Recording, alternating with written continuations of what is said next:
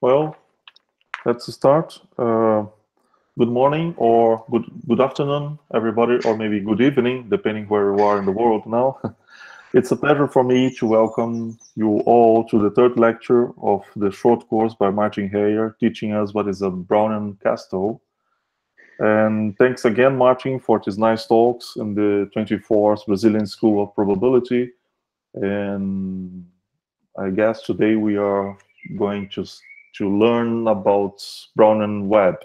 So all yours, Martin. Thanks again. Okay. Uh, thanks. Yeah, that's right. Uh, thanks, Paolo. Um, yeah, so today I wanted to talk mostly about the Brownian web. So remember the Brownian web is this object here, um, which is essentially coalescing Brownian motions starting from um, every point in the plane sort of simultaneously.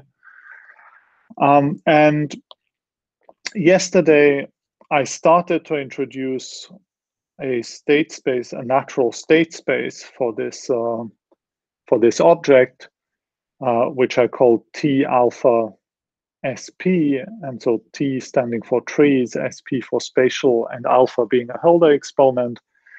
Um, and so I mentioned the so I think this was somehow definition. So an element, elements zeta of this T alpha SP are complete pointed R trees. So it's a real tree in the sense a metric space, which really behaves like a tree, pointed in the sense that they have a distinguished point, uh, complete in the sense of complete metric spaces, uh, locally compact. I always assume local compactness, so you don't have sort of like things of infinite degree or so, uh, which would be problematic otherwise. Um, and they come with an embedding into R2.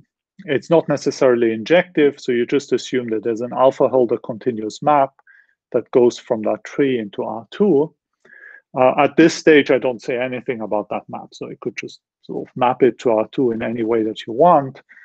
Um, and so now I just want to describe a little bit the natural topology on that space. And so one way of building the topology of that space is the following thing. So first, let me talk about, uh, uh, let me define what we mean by a correspondence. So a correspondence uh, between between two metric spaces, or in general, actually two arbitrary sets even. But uh, we're going to use it for two metric spaces, say T and T prime, um, say call the correspondence C.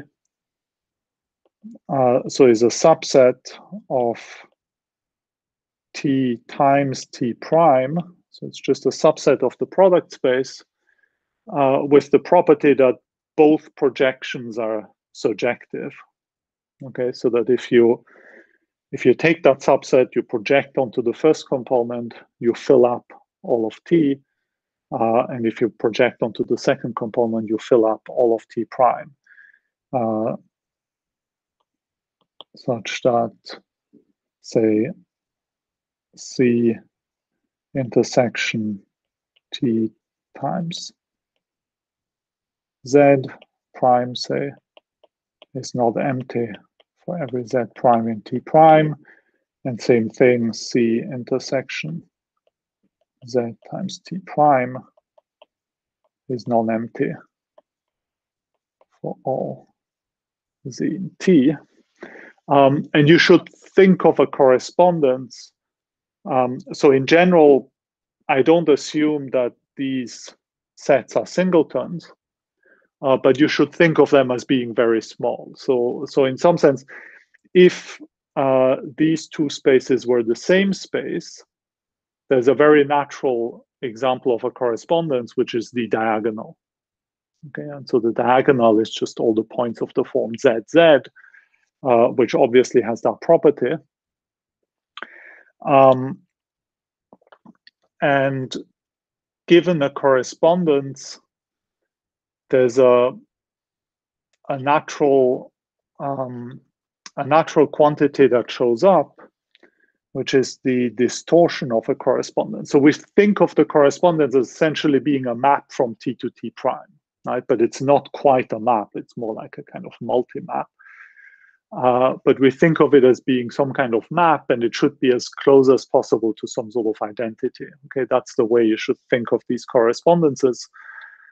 Um, and so the this given a correspondence, the distortion of a correspondence is the supremum over all differences between, so what you do is you take two points, say Z and W uh, in T, and you take the distance between them in T, and then you look at two points that corresponds to correspond to them in T prime.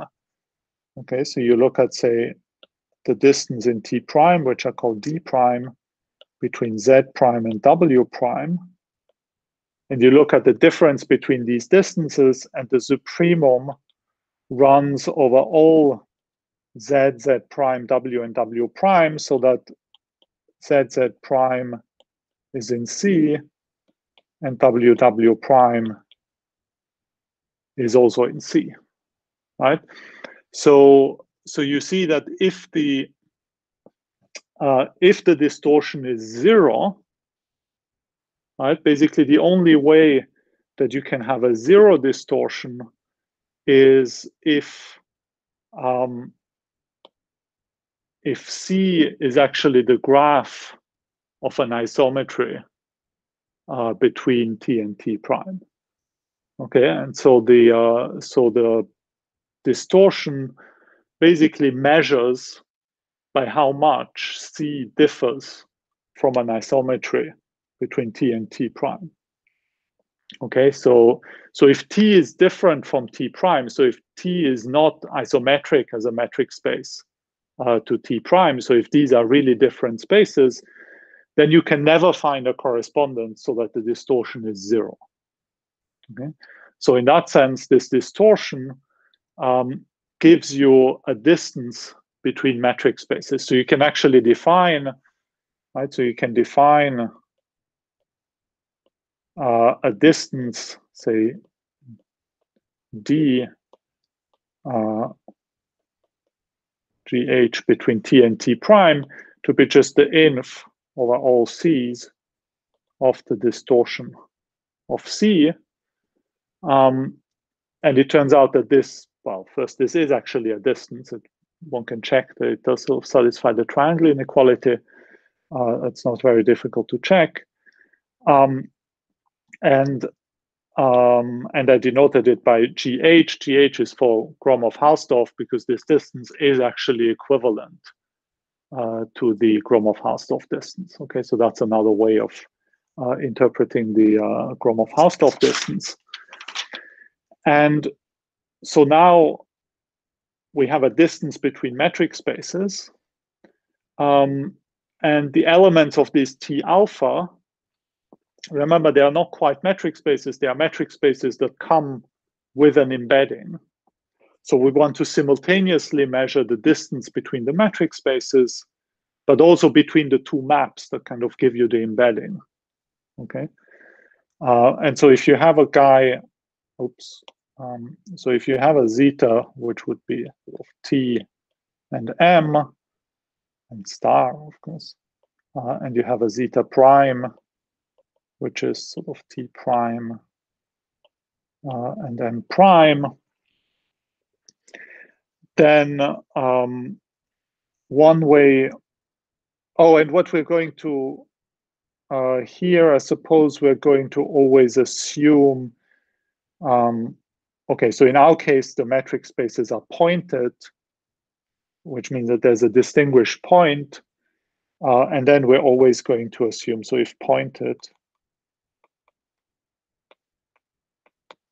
So, so instead of just having t, you have a distinguished point star. And for t prime, you also have a distinguished point star prime. Uh, then we always assume that the pair star star prime belongs to the correspondence.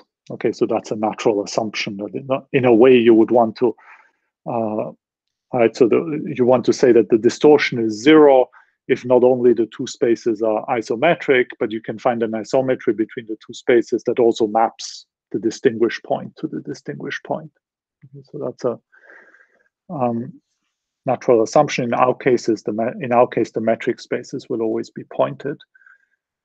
Um, so, so here we have these two metric spaces that furthermore come with an embedding into R2. And so now there's a natural way of measuring the distance, which is that I can, let me write, uh, yes, Milton, I see that multimap, is it clear that it does not mess things? Uh, I'm not sure what you what you mean that it does not mess things.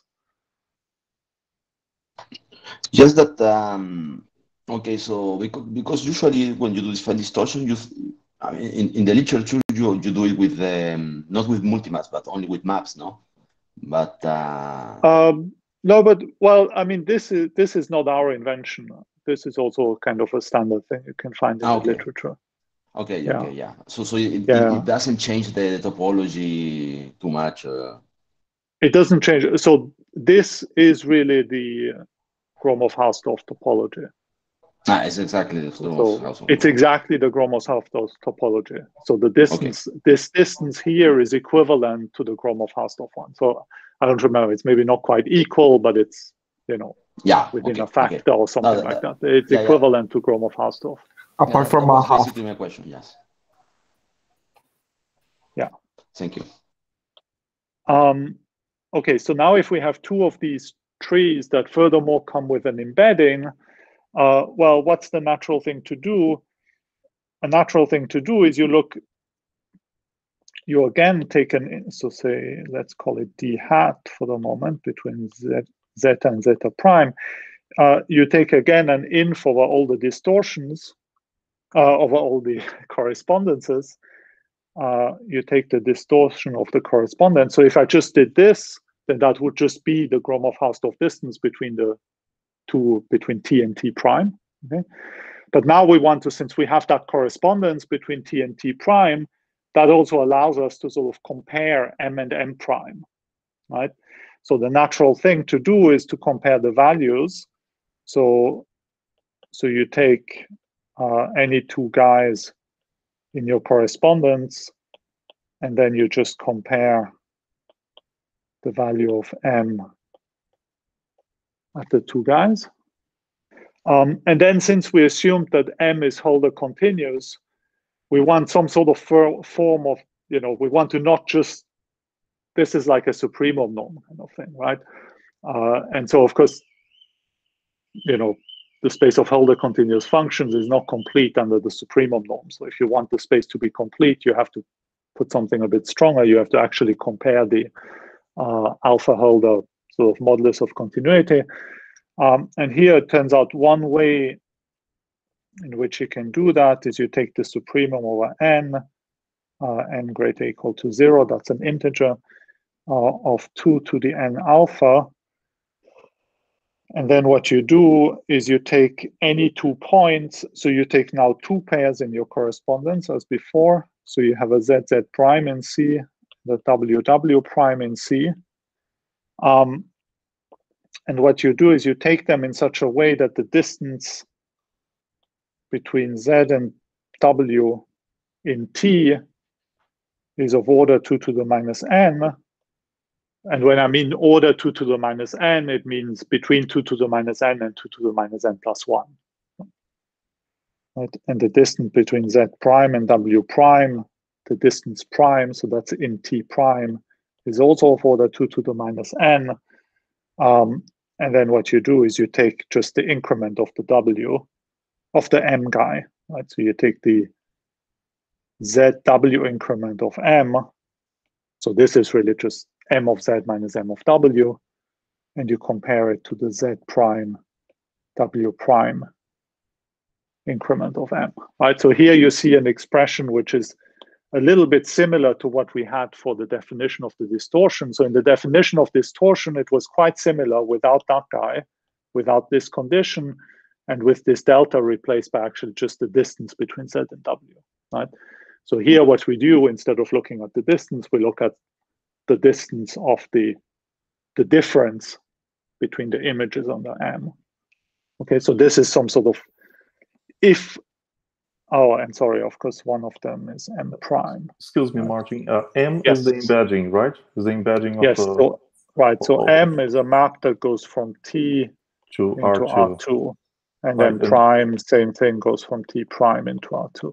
Uh, is, is, is this base compact? So no, so here, okay. So for the moment, for the moment, I assume that T and T prime are compact. Okay, thanks. Yeah. Yes, so, so that's why this is still this is D with a hat, and that's going to then allow us to define the actual distance for the non-compact ones. Right. Yeah. So for the moment, I assume that they are compact, so all these supremum are well defined. Yeah. Otherwise, of course, the suprema could be infinite. Um, Okay, so I define uh, this distance like this. Um, and then, so this works for compact spaces, as Paolo pointed out. Uh, and if I want to extend this to non-compact spaces, uh, what I do is, for example, so say the actual distance between zeta and zeta prime in the general non-compact case what I do is I take the, so that's one way of doing, there are several essentially equivalent ways of doing this. Uh, but one way of doing this is I take the integral from zero to infinity of e to the minus r, um, one infimum, and I take the hat distance between zeta r and zeta prime r, dr. And then, so here what I mean by this is that I just take the ball of radius little r in t. Okay, so if I have a guy like this, then the zeta r would just be the one where I replace t. Remember, t is pointed, so there's a distinguished point, so I can look at the ball of radius r around that point. Uh, and that's what gives me the tr. So, the, so here, this guy is sort of the TR, which is the ball of radius R around the distinguished point in T. Um, and and of course the M is just unchanged. It's simply the restriction of M to the ball. Okay, so you get a um, so given a non-compact guy, I can always look at that ball. If my non-compact guy is locally compact, uh, then when I look at that ball, I get something compact. Uh, and then I can, this d hat distance is finite in that case. Um, and then one minimum a distance is still a distance. Uh, so this is still a distance function. It's bounded by one. So if I integrate from zero to infinity with e to the minus r, I get something which is always bounded by one. Okay, so this is always finite uh, even if these guys are non-compact. Um, and oh yeah, so just here, so so why do I use this kind of funny, right? So there's here there's a sort of slightly funny definition. There would be a maybe a somewhat more natural way uh, of defining things, which you see, if m and M prime were defined on the same space, right? So if m and M prime were just say Hölder continuous functions from R to R or from R2 to R2 or something like this, right? Then what's the natural Hölder norm? The natural Hölder norm would be uh, take two points, say Z and W, and you look at delta ZWM minus delta ZWM prime, and you divide by distance between Z and W to the power alpha, and then you take a supremum of all Z and W maybe at distance one from each other. Right, so that's, I think, Stella, maybe you should turn off your microphone. I think it gives some interference. Um, so here we cannot do that because the two guys are not defined on the, thanks, the two guys are not defined on the same space, right? Um, and so here it's not clear, April, right? If I wanted to just mimic the usual definition of the Hölder distance between the two functions, then it wouldn't be too clear by what I should divide this, right? And so this essentially replaces that, right? So I just look at points that are at a certain scale, and I make sure that both of these guys are at about the same scale, and then I divide by that scale to the power alpha, which is like this 2 to the n alpha. You should really think of it as dividing here by the distance between these guys to the power alpha. Um, and there's a bit of a subtlety, which is that you know sometimes this supremum might be over an empty set, uh, and no one has to say you know how one should actually define that if the supremum is over an empty set. So if turns out if one of if this is an empty set, then one shouldn't just replace this by zero, uh, but one should just drop the one of these two guys, uh, which is empty, and still keep the other one. Otherwise, one breaks somehow the triangle inequality. Okay, but if one does one does something like that, one does get an actual distance. Um, now, if we just defined it like I just did, which would be very natural, then we would have we would have exactly that problem which I mentioned yesterday, which is that if we have a sequence of trees like that with that sort of embedding, where this junction here goes down to infinity, but otherwise what happens here in a bounded region sort of stays the same, um, then this sequence here, and say the pointed, the distinguished point is here, then this sequence in, uh, whoops, so with this distance, as I just defined it, would actually be Cauchy.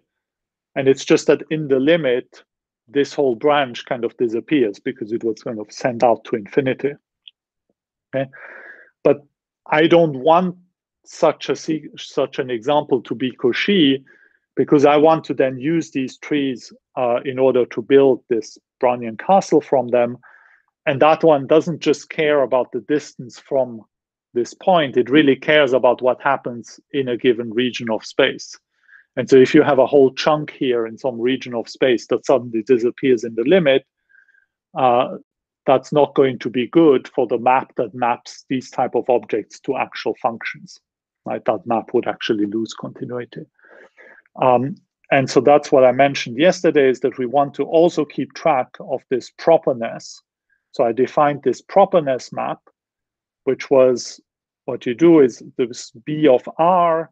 What you do is you take a ball of radius R, but now in R2, not in the intrinsic metric of your tree, but in the R2 metric, so the copy of R2 that your tree gets embedded into.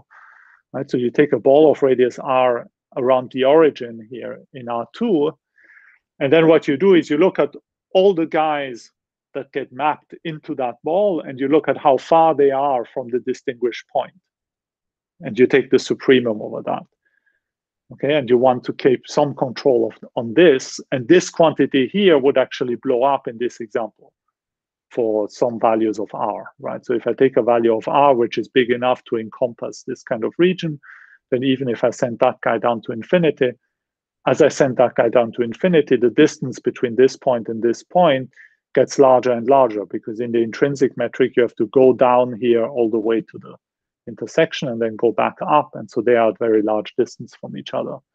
And so this quantity here is going to blow up. Um, and so since we want to avoid this kind of example, right, so we want to make sure that this type of example is not Cauchy in our metric. Uh, so what we do here is that we add an extra term which is the M1 Skorohod distance between the B zeta and the B zeta prime. Uh, and the M1 Skorohod distance is really just uh, basically think of it as being just the distance between the graphs. Right, so what happens here is you just take um,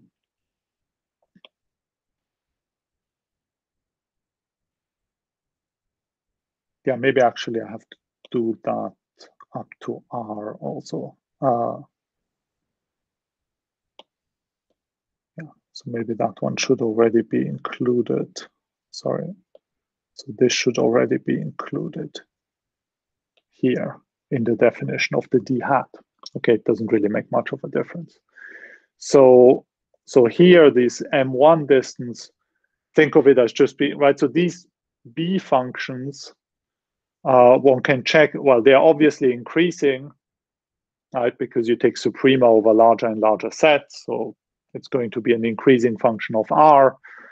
Um, and so it's, you can always, it might be discontinuous, so it might do jumps. And so what you do is you draw the graph, and when you have jumps, you really draw vertical lines, right? So you think of your B, R, B of R, it's going to be a function like this, so it might have jumps. Right? So it might do something like that. Now you draw the graph by really filling in the jumps with vertical lines. So you get essentially a line in the plane. Right? So, and then what you do is, well, if you have another one of these,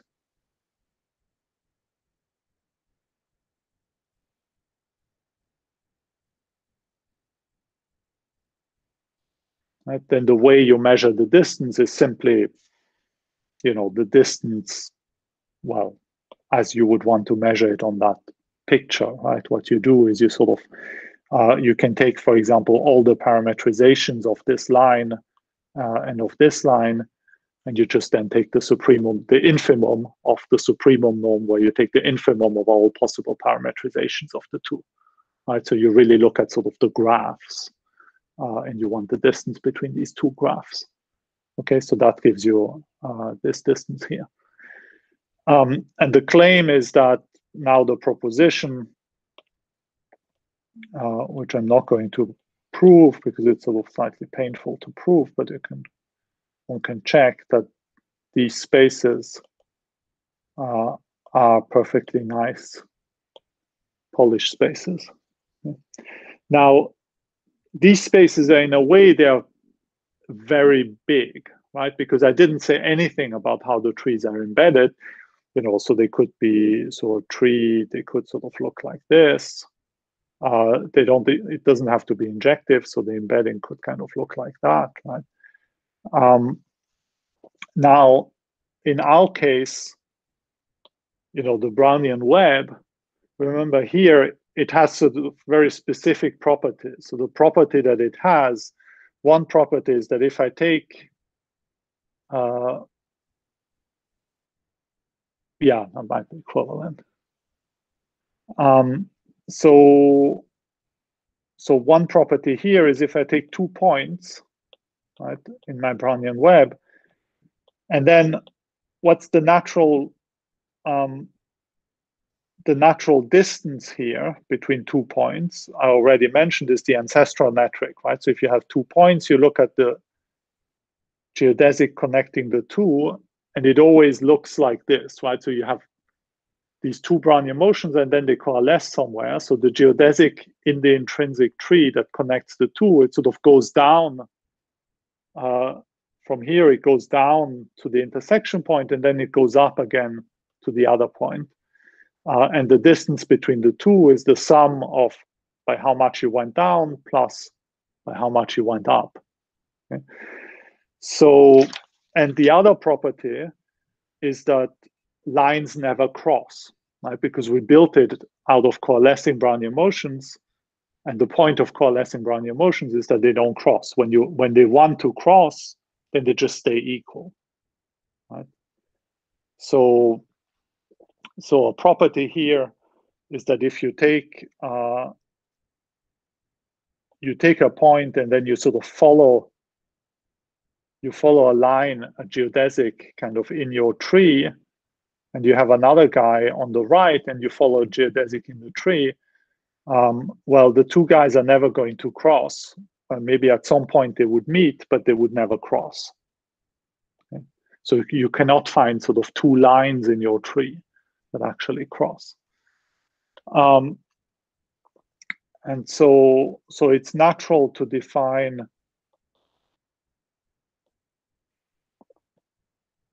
a subset C alpha SP, which is a subset of this T alpha SP.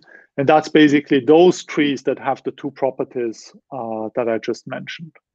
Okay? Um, so they are the pairs Tm with the property that on the one hand, if I look at the T component of M, um, and if I take, so if I have, so let me just use some notation. If I have two guys, say Z naught and Z1 in T, then we've seen before that by definition of a tree, there is exactly one isometric copy of the interval that connects the two inside tree, inside T. Um, and so then I call the guys on that interval ZS with S, you know, going between zero and one uh, in the natural way. Um, and then what we want is that if I take any two elements in T, right, and I look at this interval that joins them, or if you want the geodesic that joins them in T, and then I look at the T component of my embedding, right? So my embedding goes into R2, and there's the first component, I call it X, the second component, I call it T, because the second component is like the time for our coalescing Brownian motions, and the first one is the space for our coalescing Brownian motions. So if I look at the T component, uh, of ZS, then this should always be the supremum between the t component of z naught minus s times the distance between z naught and z1. So this uh, max, well, the same expression but with 1 and 0 reversed. So mt of z1 minus 1 minus s. Uh, and same thing, distance between z0 and z1. Okay, so this really just says, remember in the picture here, it just says that if I take two guys and now I go from one to the other one, then along this path, uh, the t component first decreases at linear speed, at constant speed, and then it increases back at constant speed. And it always does that for any two points. I mean, it might be that it increases somehow for a zero amount of time and only decreases, uh, or it might you know go the other way around but it's always of the form first a decrease which might which might be a zero amount of time and then an increase which also might be zero amount of time okay and if you think about it for a little bit well that's sort of one way of formalizing this um, so that was the first property which was that if you go from any point to any other point uh, in the t direction, you always go down at constant speed, and then you go back back up at constant speed. Okay. Um, and then the second property was this non-crossing property. Right. So one way of formulating this, I'm not going to write down a formula, but I just draw a picture. Uh, so one way of drawing a picture is you take two different times, uh, say t and s, and then you take an interval in space.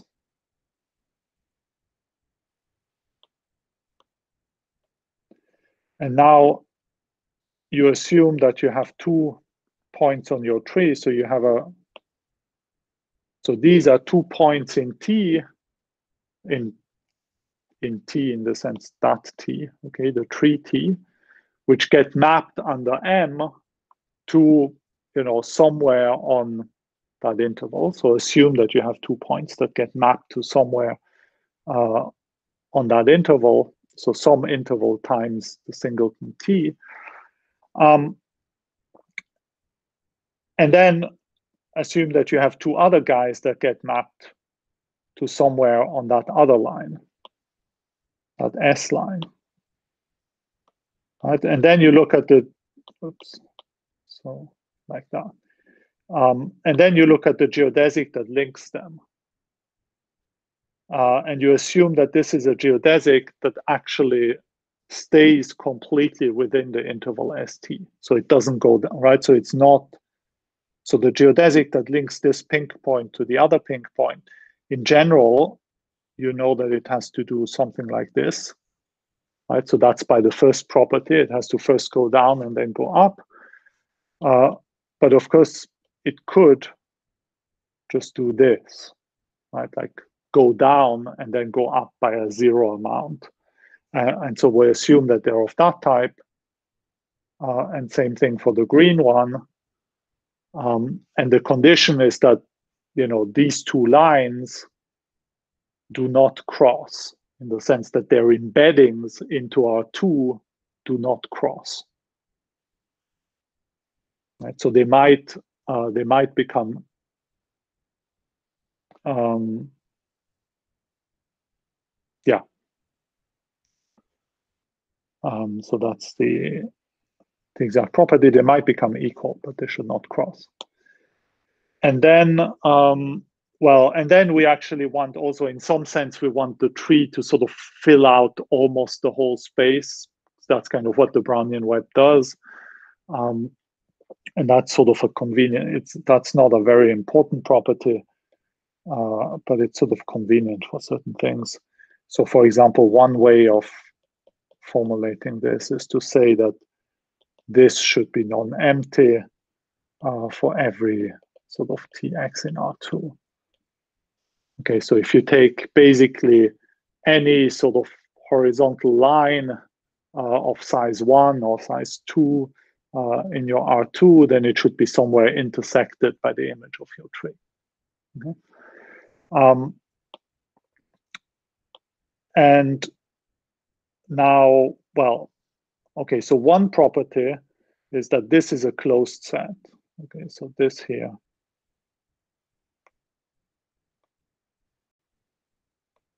It's a closed set in this T alpha. Okay, so it's a so then it is itself again a nice sort of Polish space. Okay, so it's a nice uh, space on which you can do probability. And now we claim that you can realize this Brownian web as a random variable uh, with values in that space. Okay. Um, and and one way of doing this is essentially right. So if you want proposition, um, so there exists a unique random variable. I mean, unique in law, of course, um, with values in the C, C alpha SP um, for, well, alpha needs to be less than a half, of course, because the, uh, the embedding of your Brownian motion is going to be sort of Hölder continuous for exponents a half. Um, such that you have the following the following property. Um, on the one hand, the M is surjective, right? So every every point in R2 is hit by um, by the embedding of your tree. Okay, so that's what we want for the uh, for the Brownian web. Um, then for any for deterministic, so for fixed Tx in R2, um, M inverse of Tx is a singleton, so the number of elements in the pre-image is equal to one almost surely. Okay, so in that sense, it's sort of, it's almost the embedding is almost injective, but we don't claim that it's injective, right? Because there are, of course, uncountably many points in R2. So just because for every fixed deterministic point, the pre-image is equal to a singleton doesn't mean that simultaneously for all points in R2, the pre-image is a singleton. Okay. Um, so this does not actually imply injectivity of M. Okay? So it's a sort of weak form. And we'll see that it will not be injective. Okay? Um, and then for any for any k points in R2. Um, oh, yeah, so one, one thing I should mention is that if you have an element in this C alpha, that's something which is not very difficult to prove. Sort of out of these two, out of these properties, um, what one can deduce is that elements in C alpha necessarily have an open end at least one open end, but there's exactly one open end which sort of goes down to minus infinity. Right, and that's just a consequence of this property that the um, geodesics, right, the T, the M map for the geodesics always goes sort of down and then up again, uh, which allows you to sort of find points further together with this property here. It allows you to kind of find points in the tree that get mapped further and further down uh, in the second component, in the time component. Uh, and you can use this to produce sort of array that goes down to minus infinity in the t component. Uh, and then because of that property, it's clear that that array has to be unique because if you had two of them, then you, you couldn't link them anymore because of this property here. Okay, so the, elements in C alpha necessarily have one ray that kind of goes down to minus infinity in the T component. Um, and so I'm going to call that dagger. Um, and so if you take any k points in R2, uh, the rays, so let me call them, let's say Zi, the rays m inverse zi to dagger. So that's essentially the trajectory is going down to infinity, starting from these points. Right. So these are points in R2. They have almost surely a unique pre-image in T. And then in T, there's an open end. So I can go down along that open end, sort of to the down to minus infinity. So I get a trajectory coming out of each of these points. And then I look at again at the image of this trajectory in R2. And what you want is to get k coalescing Brownian motions. Okay, so that's what the Brownian web was supposed to be. Um, so they just form k coalescing Brownian motions. So that's of course k deterministic points, zi. Right? So they form k coalescing Brownian motions well, if you look at the image under M. Okay. Um, and then it turns out that just these, right, these three properties, one has the impression that that's enough. It turns out that these three properties are not sufficient to uniquely characterize the Brownian web. Um, you need some additional property. Um, and the extra property, there's two different ways of formulating it, or there are two equivalent additional properties that are not obvious they are not obviously equivalent, but they are a posteriori equivalent because they both determine the same object. So one thing that you can do is you can just say, well, I start off by simply throwing down, I start off with like a dense countable subset of the plane. Um, and then I start sort of throwing down Brownian motions one after the other. So I start from the first guy in my dense set, I draw a Brownian motion, then I take a the second guy in my set, I draw a Brownian motion. So let me just draw the picture, right? So the way you would draw the picture, you have your first point in the plane, you take a Brownian motion that goes all the way to down to minus infinity here. Then you have the second point in your countable set, you take a Brownian motion, eventually it's going to coalesce with that one. So now you get a tree. Um, then you have the third one and so on. Right, so this is going to coalesce sort of further down and so on. So now one after the other, So you have a sequence of trees in that way. Um, and if you take just the probability measures that you obtain in that way, by taking the first k guys in your dense set and then just looking at the coalescing Brownian motion coming out of these k guys, uh, that's sort of an increasing sequence of elements in uh, in that space T alpha, and we can actually show that that's tight. Um, and there's also a not too difficult to prove theorem that tells you that if you have a sort of tight increasing sequence, then it's actually converging. So it's relatively straightforward to show that this here necessarily converges to some limit. Um, then it's not completely obvious that the limit is itself um, unique. I mean, it's not completely obvious that the limit is independent of which countable subset you started and like maybe the order in which you take the points in your countable subsets, right? But it's but it's not very difficult to show that given any countable subset in any order, uh, you take that increasing sequence, it does have a limit. So one way is here to say, well, the fourth property is simply that it is such a limit.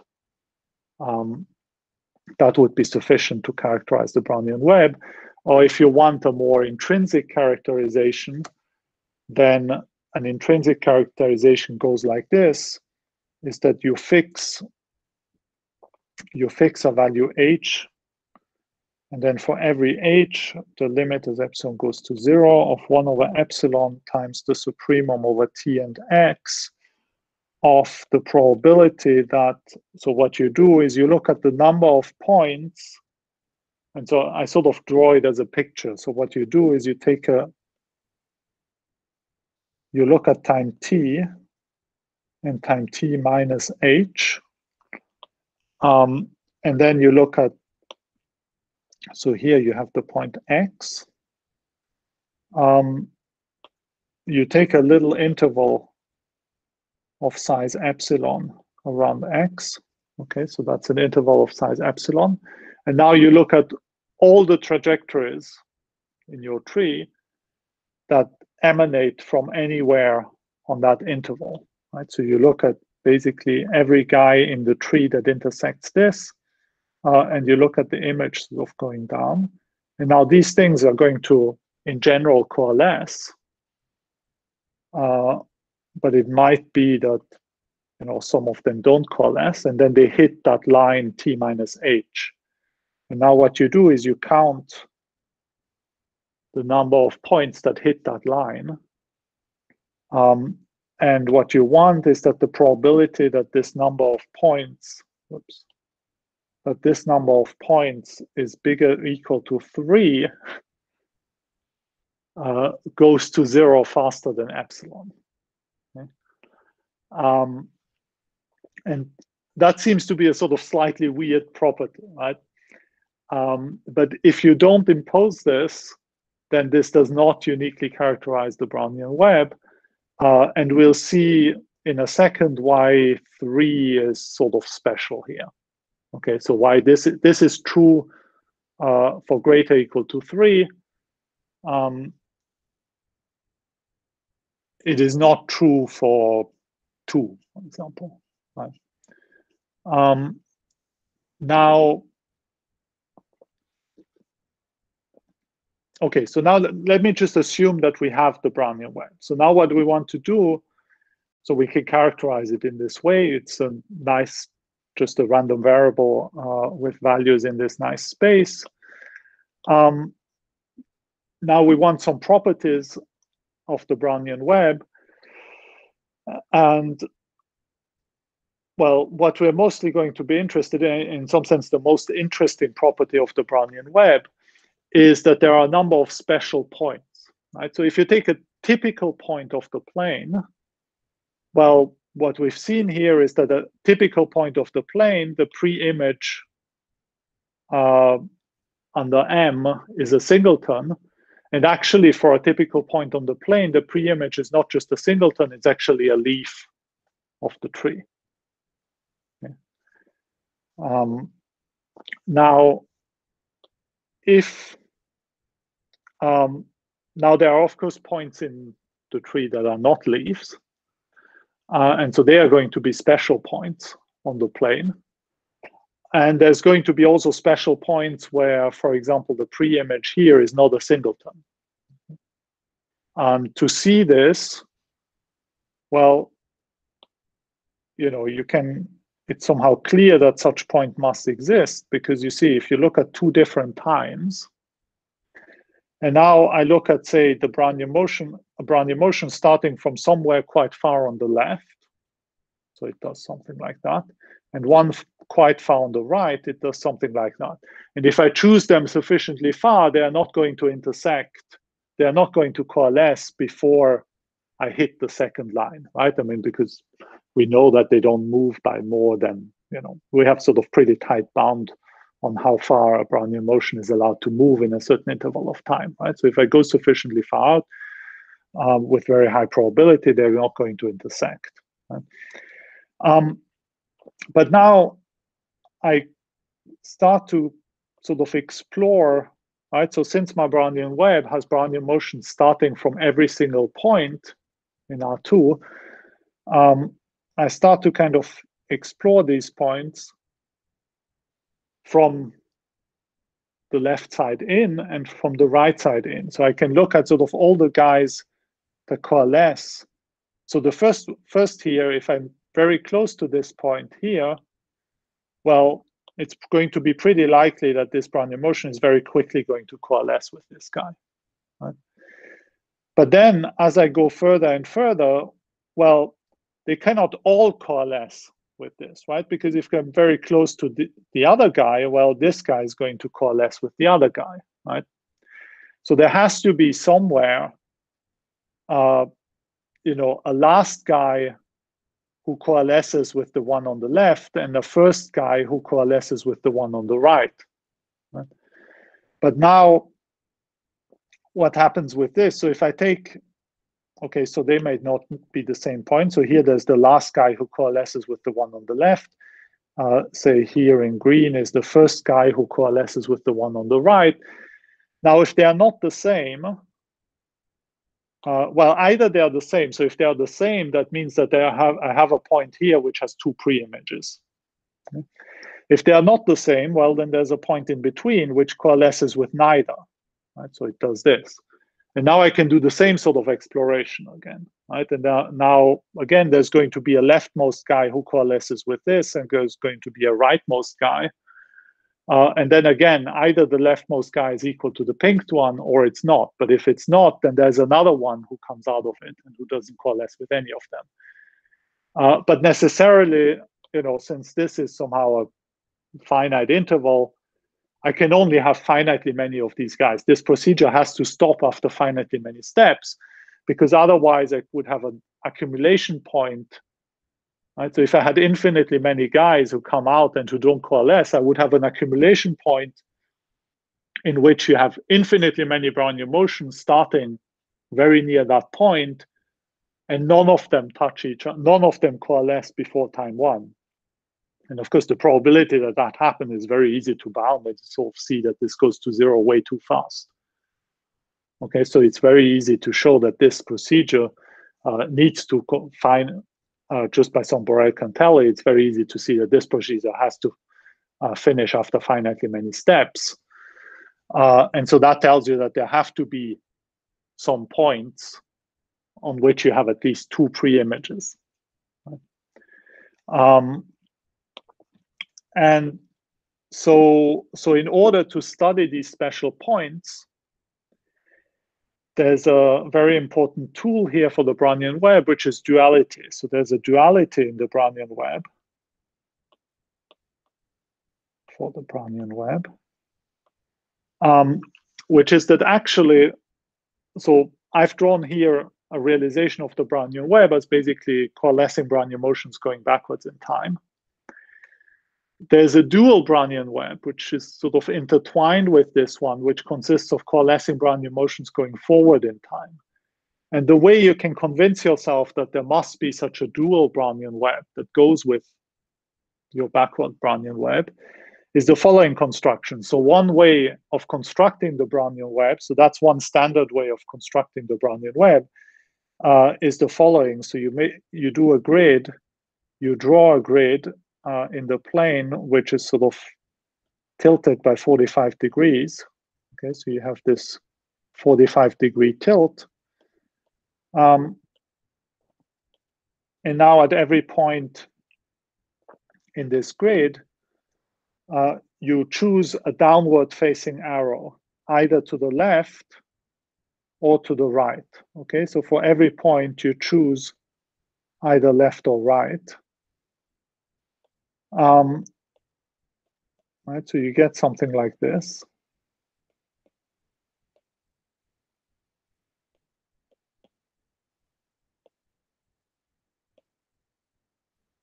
Okay, so here at every point of the grid, I've chosen an arrow that points either left or right. Um, but now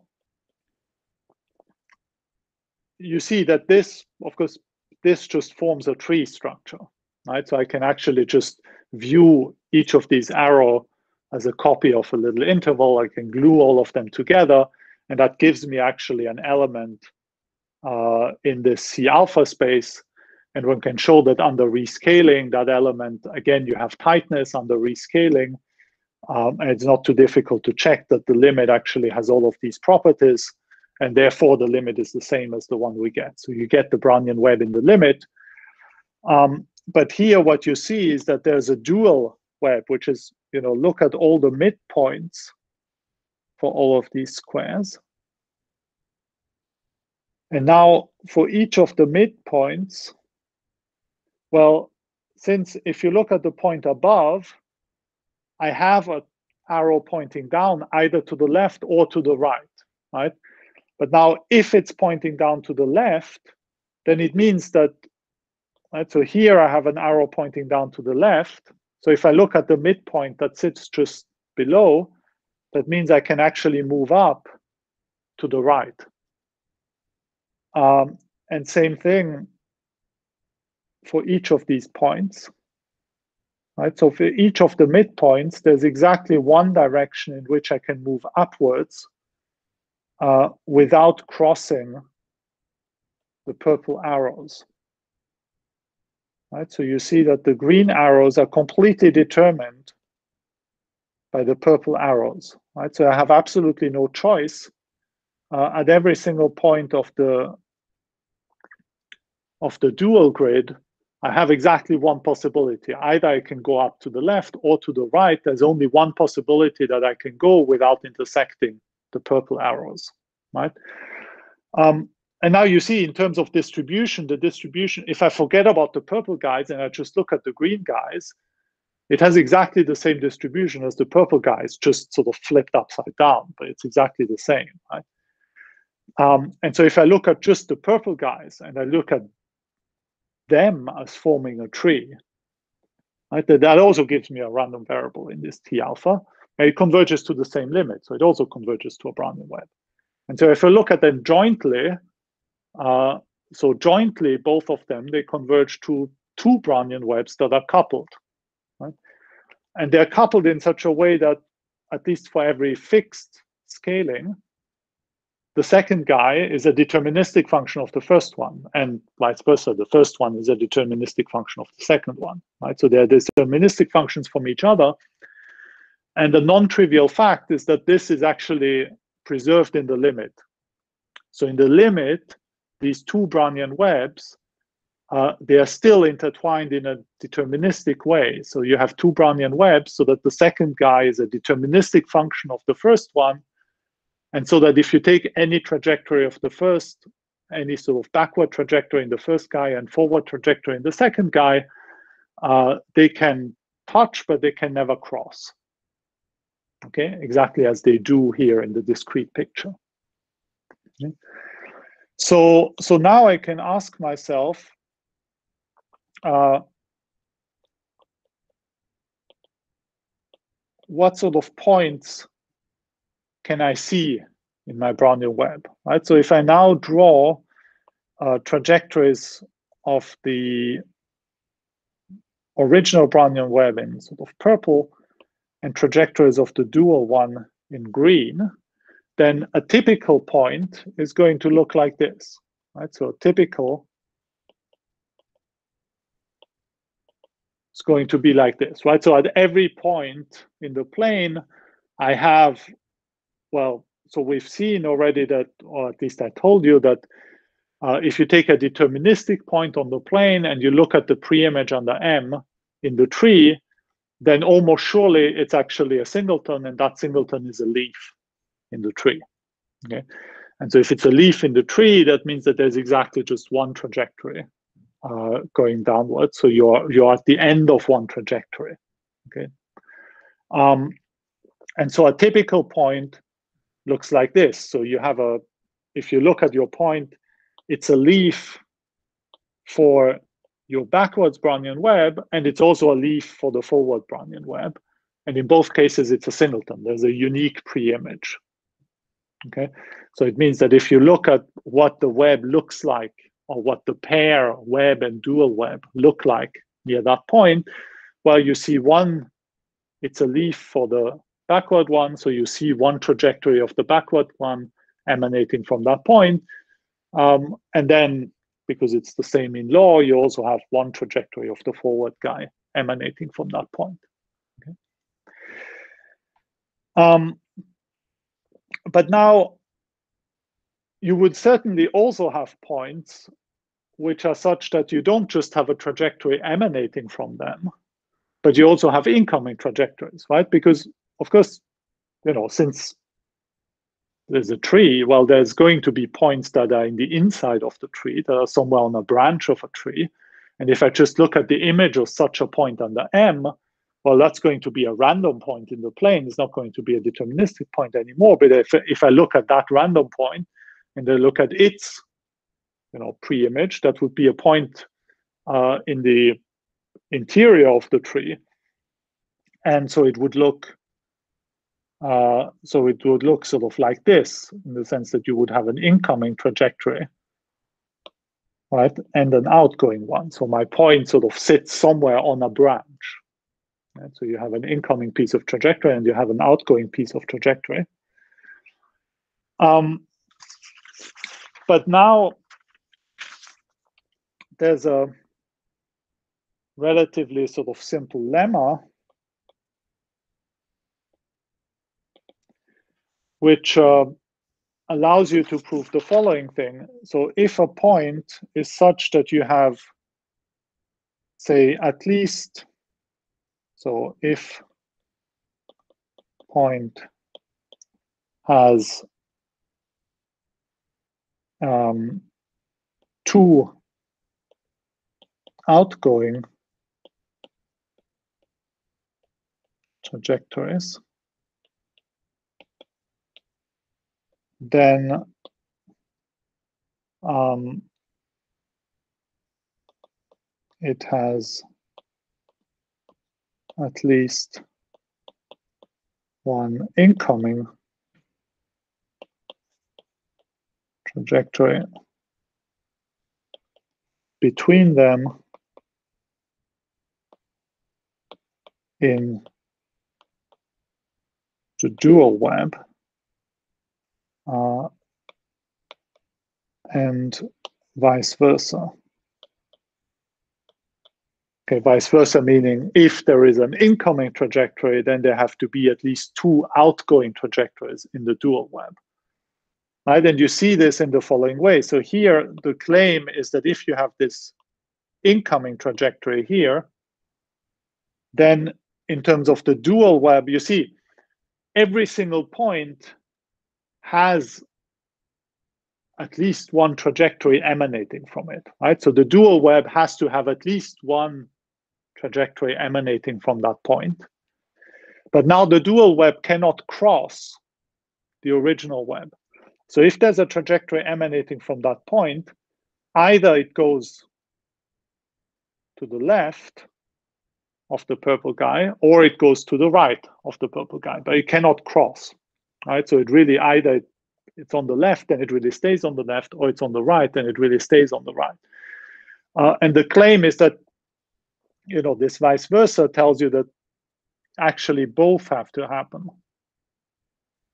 And the reason why this is true is simply, you know, you can argue as follows. Now, this point is random, okay? But, okay, you have your dense countable set of deterministic, so you have a dense uh, deterministic set of points, say just the, the points with rational coordinates, um, so that you can just, well, from every one of these points, you have a trajectory emanating, right? And so it means that, so now you just take a sequence of rational points that approaches this point here from, you know, in this way by staying on the left of the purple guy. And so that certainly tells me that I must have trajectories in the dual web that start from anywhere on that sequence of rational points that stay on the left of the purple guy and approach the distinct the point that I'm interested in, right? Um, and so, so now I have all these little pieces of green trajectory that start from any of these points, um, and then there's a sort of closure argument that tells you that well you can you have to be able to actually take limit here.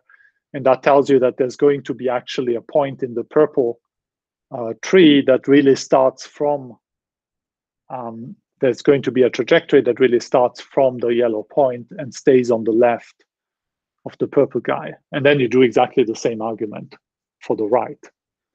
Right, and so that tells you that you necessarily have to have at least one green trajectory that's on the left and one green trajectory that's on the right. Right, so that's what, and the other direction of the lemma is proven in pretty much the same way. Okay, so um, so we have such. So now we've seen well there are at least two types of points that must exist. Um, but then you know the same thing has to be true with purple and green reversed, right? Because you know you you see in the the discrete picture here is completely symmetric under flipping the picture upside down and swapping purple and green, right? So that means that the types of points also have to be sort of symmetric under flipping everything upside down and exchanging purple and green. And so if I flip this picture upside down and exchange purple and green, I get this picture. Right? So that already tells me that necessarily I must have points uh, so that's exactly the type of points that I mentioned that I was arguing for the existence here, uh, where you have two points, two trajectories emanating from the same point. Right? Um, okay, so now you can ask yourself, well, are there other types of points? Well, so there's certainly at least one more type of point that has to exist because, well, since we're building this Brownian web, from coalescing Brownian motions, well, there's certainly going to be the special points in which two of these Brownian motions do coalesce. Right? So, so I do have points that are of this type, where you have two incoming trajectories and only one outgoing trajectory. Right? So I certainly have points like that. Um, because all I do is I just take I follow, I take two starting points and I just follow them until they coalesce. And once I found my coalescence point, I see a point which is of that type here. Right? And then again, by this lemma, uh, whenever there's an incoming trajectory, there must be two outgoing trajectories on the dual on either side. So now here I have two incoming trajectories, and that tells me that I have to have sort of like three outgoing trajectories in the dual on either side because I just apply that lemma uh, first to this incoming guy and then to this incoming guy. Right? And that forces me to have one trajectory here, one here, and one here. Um, and then again, by duality, I must have points which are of the same type where I simply flip the whole picture upside down right? So the so if I flip the picture upside down uh, and I swap purple and green,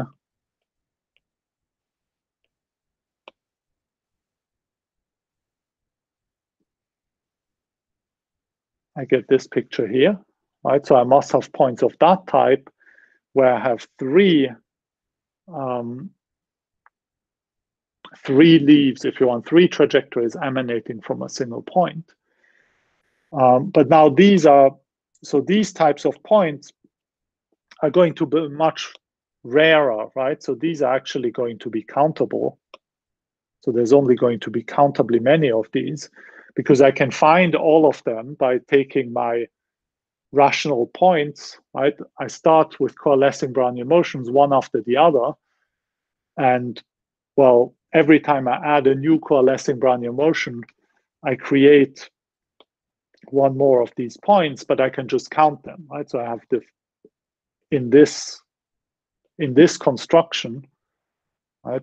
If I count, I have my first Brownian motion, then I have the second one, then the third one, and so on. Uh, that gives me, you know, there's the first special point here, then there's the second special point here, and there's the third special point here, and so on. Right? So these are certainly going to be countable, and they're not going to be, right, because at the end, of course, you know, here I, I only look at these countably many uh, Brownian trajectory starting from my sort of dense countable set. In the end, I have to do a completion procedure in order to get them starting from every point at the same time. But that completion procedure is going only going to add leaves to the tree. So uh, completing a tree can only add leaves to it.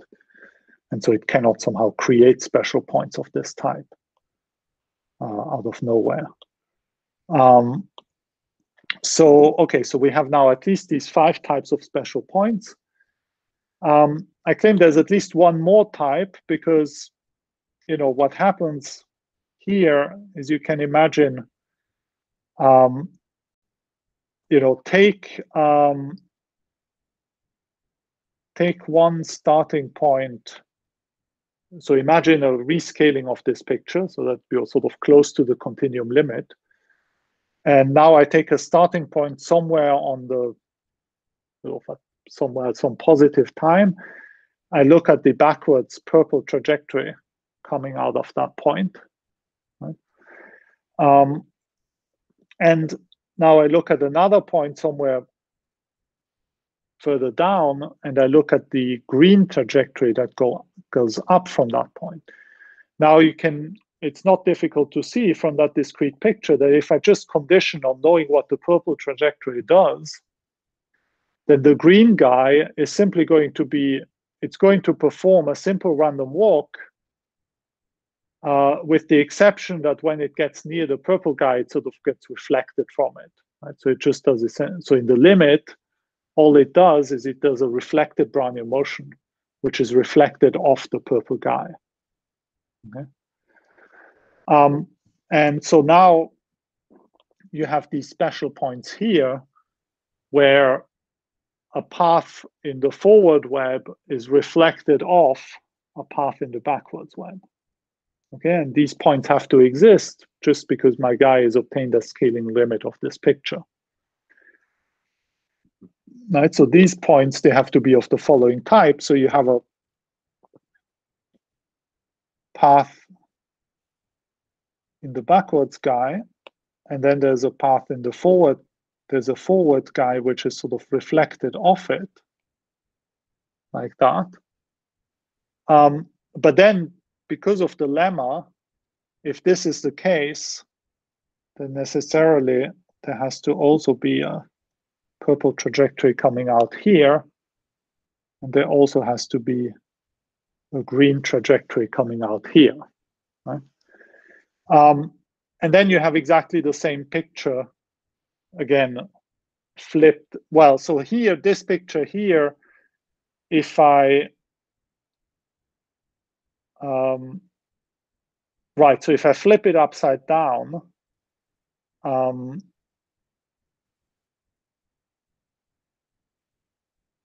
and I reverse the colors, I get right? So I get this, well, I get essentially the same, but it's the same as just flipping it right to left, right? Which is, which just reflects the fact that here, this picture, I could have done it the other way around, right? So there's no reason for the green guy to always reflect onto the purple guy on the from the left. It could also reflect on it from the right, which is what I drew here actually. Right, so you have the one where you reflect on it from the other side.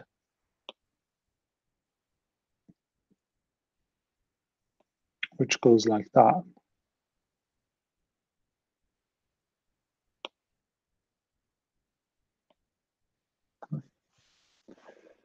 Um, and now the claim is that these are all there is. Okay, so the, the proposition is that there are no other special points. Um, and well, why is that the case? Well, if there was another special point, another type of special points, then you can just by accounting because of that lemma, um, you know, this lemma always forces somehow these points to have a certain structure, right? So the like basically green and purple strands are always sort of interleaved like that. Um, and so, so just by a counting argument, you can see that these are basically all the possible special points in which you have at most three incoming strands of a given color. Because, for example, you see, you could imagine, say, oops.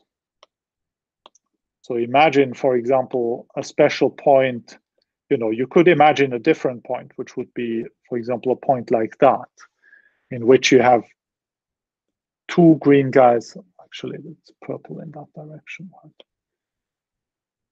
So you could imagine a special point in which you have two purple trajectories that coalesce, but so that simultaneously you also have another one going out here, so that the green guy would do something like this. So here it would go like that. Um, and here it would go like that. And here it would go like this, right? So you could imagine, for example, this one. Uh, but this one is excluded because um, this would tell me that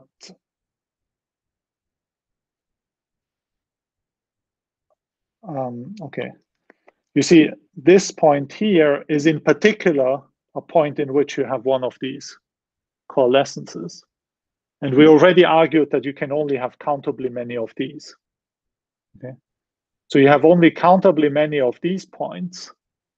But then if you start with a Brownian motion very close to one of these points, with high probability, it's going to coalesce very, very fast uh, into that purple trajectory, right?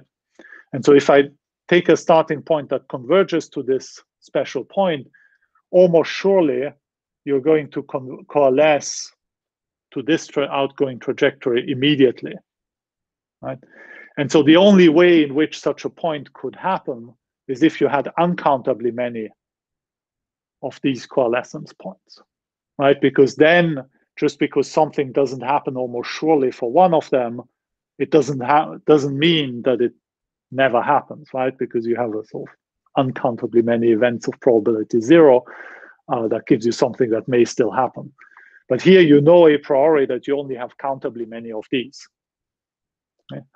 Uh, and therefore you could not have any other strand here that comes out without instantly coalescing back into it. Okay?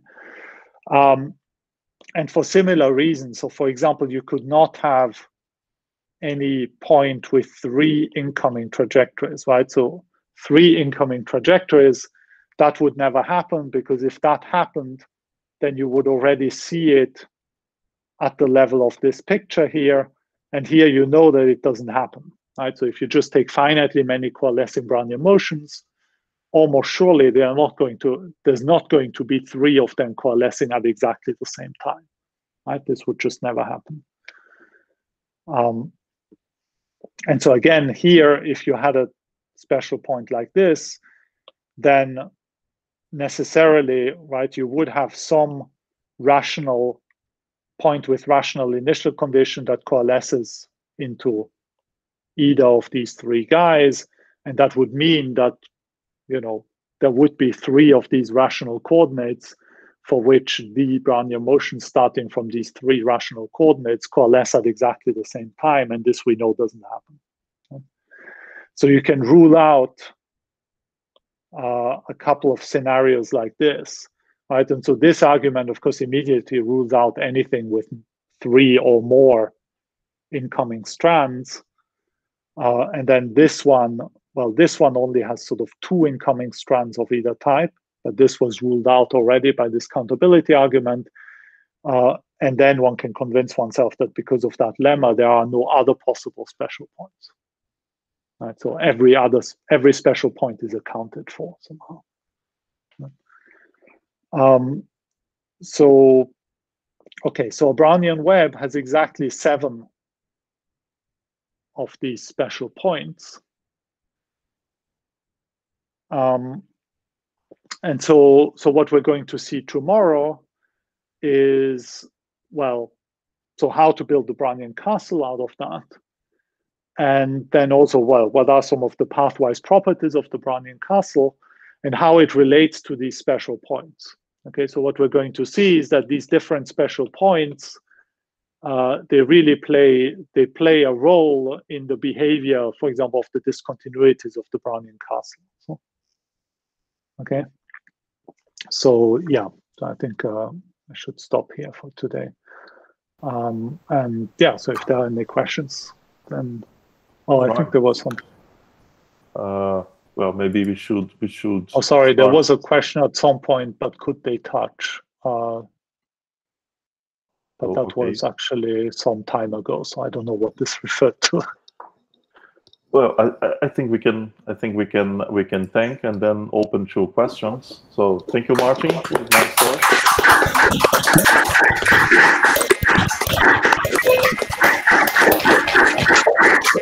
And open for questions. Either open your microphone or or using the chat.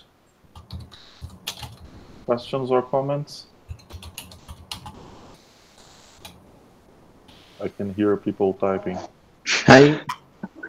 I have a question. Yeah, Milton, yeah. please.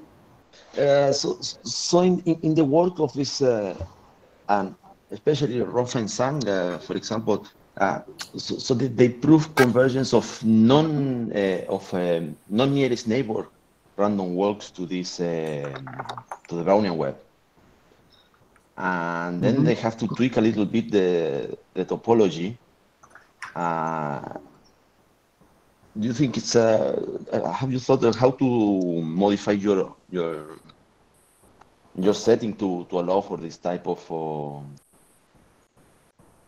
of questions?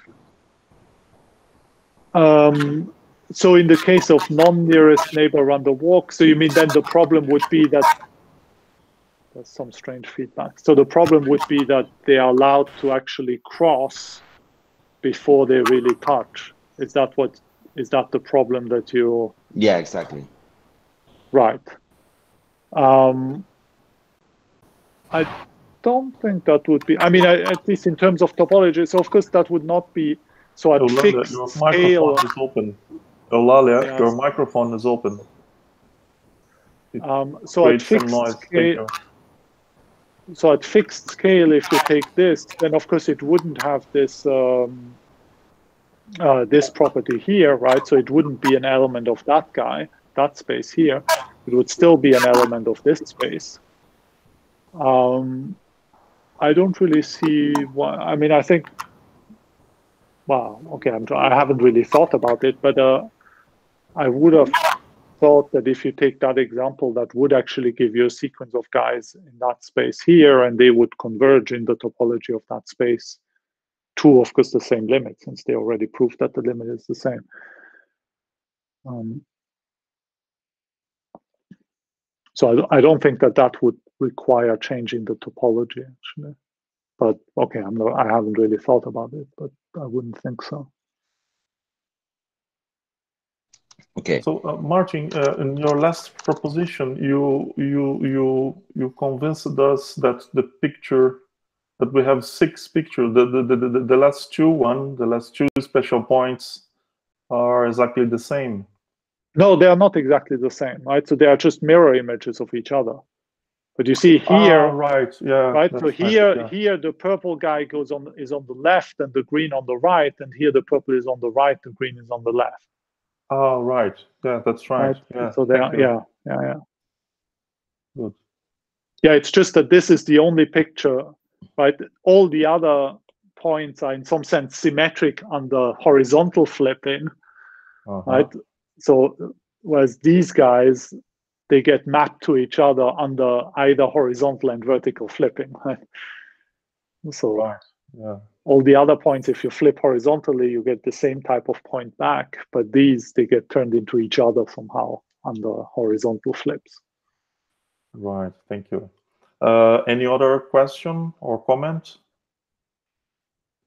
So if not, so let's thank again uh, to Perla and Martin for the nice talks today, and uh, thank you speakers today.